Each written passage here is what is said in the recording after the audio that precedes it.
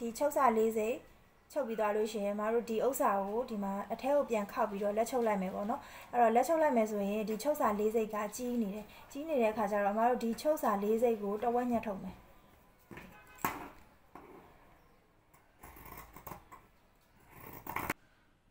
ဒါဆိုရင်ဒီမှာချုပ်စာ၄စိတ်ကိုတဝက်ညှက်ထုတ်ပြီးသွားလို့ရှိရင်အမတို့ဒီဟာကကြတော့လေဘင်းလို့အရင်အဝါကြီးမဟုတ်ဘူးဆိုတော့တကြောင်ကက်ကြီးကိုနည်းနည်းကြဲကြဲလေးတောက်ပြီးမယ်နော်သူကလည်းအဝါကြီးဆိုတော့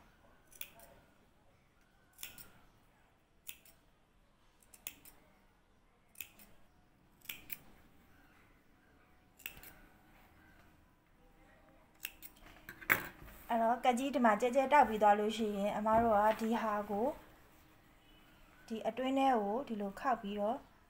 လက်ချုပ်လိုက်မယ်ပေါ့နော်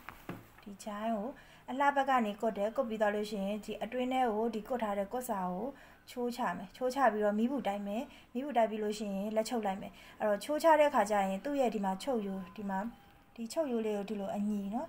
လိုမျိုးလေးအပြင်ကကြည့်ရင်ဒီလိုမမြင်ရအောင်အတွင်းကကြည့်ရင်လည်း လှနေအောင်လို့ဒီလိုအလဲကြအောင်ဒီဟာလေးကိုချိုးချမယ်ချိုးချပြီးလို့ရှိရင်မီးဘူးတိုက်မယ်နော်ဒါဆိုလို့ရှိရင်ဒီမှာကဒီအဆွေသားကွတ်ထားတဲ့ဟာကိုဒီမှာဒီလှမလှဘက်ကိုခောက်ပြီးတော့မိဖို့တိုက်ပြီးသွားပြီမိဖို့တိုက်ပြီးတဲ့အခါအမားတို့ကဒီဟာကိုလက်ချုပ်လိုက်မယ်လက်ချုပ်လိုက်လို့ရှိရင်ဒီမှာတပင်ပဲအချီတပင်နဲ့လိုက်မယ်နော်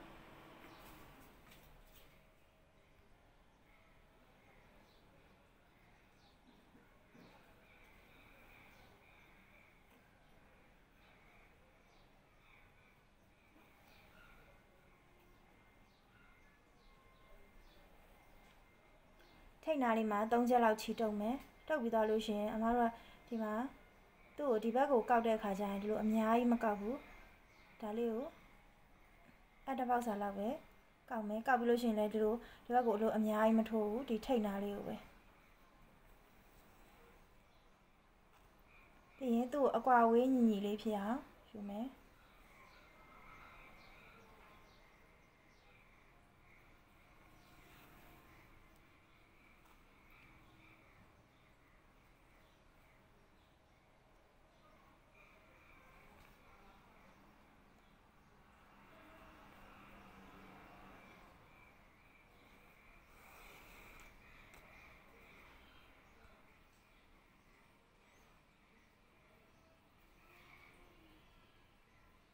အချီတစ်ခါကောက်လို့ရှိရင်လေသူ့ကို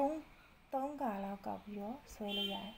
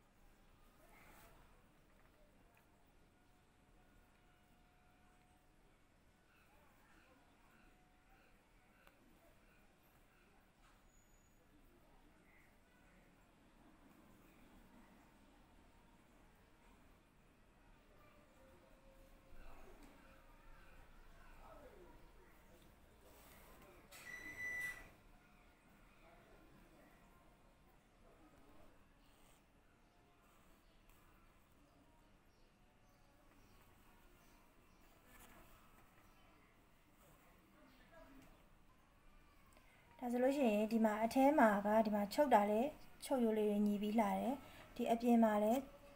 ချုပ်ရိုးကအကြီးမပေါ်တော့နော်ဒါမှမြင်ရအောင်လို့ဒီမှာအဖြူသုံးထားတာပေါ့နော်တကယ်လို့ဟိုဟာခြီပြောက်ချင်တယ်ဆိုရင်တော့ဒီပိတ်စအရာပေါ့နော်ပန်းရောင်ဆိုပန်းရောင်